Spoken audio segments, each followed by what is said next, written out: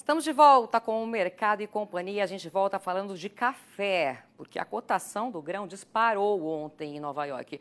Os contratos para março de 2023 terminaram o dia com alta de 6,5% a 1 dólar e 82 centos por libra-peso. Em janeiro, os ganhos acumulados superaram 8%. E para entender o que está mexendo com o mercado, nós vamos conversar agora ao vivo com o analista da Archer Consulting, o Marcelo Fraga. Marcelo, seja muito bem-vindo. Boa tarde para você. Boa tarde, Marusa. Boa tarde, ouvintes do Canal Rural. Marcelo, o que, que pressionou tanto a cotação do café ontem, né? E quais as perspectivas para os preços no curto e também no médio prazo? Olha, Marusa, no, ontem praticamente foi uma cobertura de fundos, né? Ah, no mês de janeiro, o mercado ele chegou a negociar 144 centavos por libra-peso, ou 1 dólar e 44 dólares por libra, né?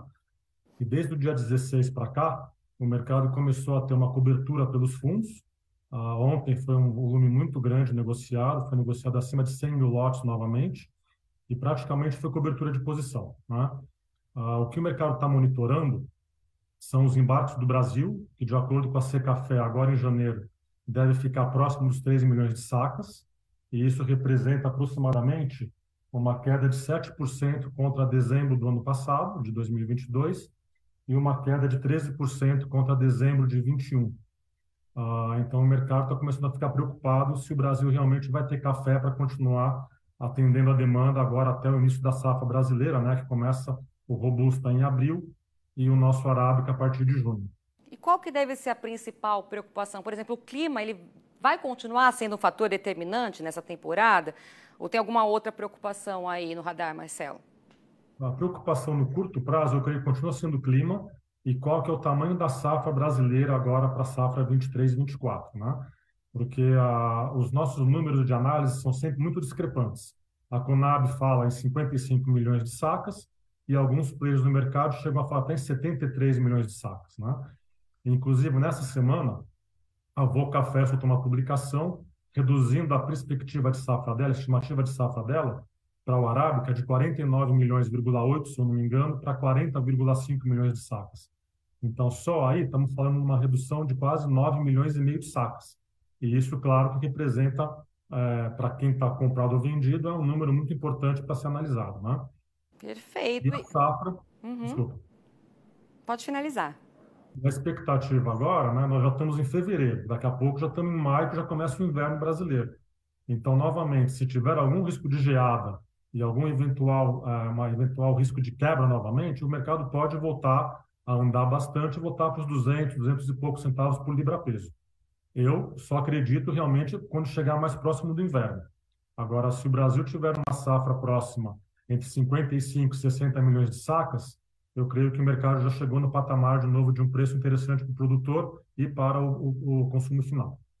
O Marcelo, como é que está a demanda, né? Com a reabertura da China para o turismo e também a melhora da economia americana, você acredita que vai haver um aumento na demanda pelo grão?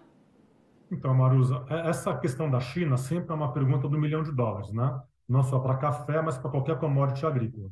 A gente sabe que a China tem um apetite novo da, dos jovens, né, de começar a tomar um pouco mais de café, e isso pode repercutir novamente nos próximos um, dois, três anos. Eu não vejo a China é, fazendo preço no curto prazo, né, nos próximos três, seis meses.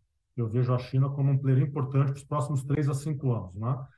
Com relação à Europa e Estados Unidos, a demanda na Europa é, continua hoje voltada em função da guerra né, e da, da redução que teve na, na Rússia, na Ucrânia e no leste europeu, e o risco da recessão com aumento de juros agora que nós vamos ter é, é, pelo Banco Central Europeu essa semana, e hoje à tarde vai ser a grande decisão do Fed, né, que todo mundo está esperando qual vai ser a posição do Fed no aumento de juros.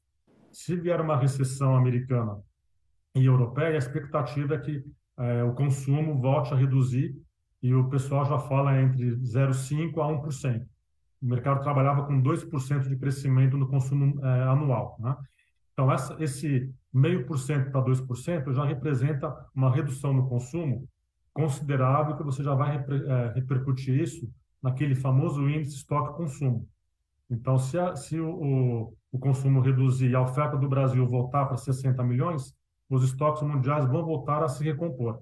E isso deve colocar um teto nos preços nesse patamar de 1.200, entre, eu calculo entre 1.100 e 1.300 reais por saco no curto prazo. Tá certo. A gente já vai encerrar o bate-papo então, mas rapidamente, o consumo aqui no Brasil, a expectativa. Então, esse é o grande também o X da questão, porque nós no Brasil hoje não temos uma estatística confiável. Né? Ah, nós temos pela a, a BIC um consumo estimado entre 21,5 e 22 milhões de sacos, mas o mercado também não acredita nesse número. A, a produção da Conab, o mercado não confia no número da Conab. O único número confiável hoje que nós temos é a exportação da Secafé, que são registros de exportação, e a gente sabe que realmente o Brasil exportou né, X milhões de sacos por mês. Então, nós não sabemos pela Conab qual é o nosso estoque de passagem, não sabemos é, com certeza qual é a produção e não sabemos qual que é o nosso consumo interno. Né? Então, quer dizer, a gente tem uma variável que é muito firme, que é a exportação, e as outras três são chutômetros. Então, cada um tem que pegar o um número mais próximo e tentar fazer uma expectativa sobre isso. Né? Perfeito, Marcelo, muito obrigada pelas informações. Uma ótima tarde para você e até a próxima. Muito obrigado, boa tarde.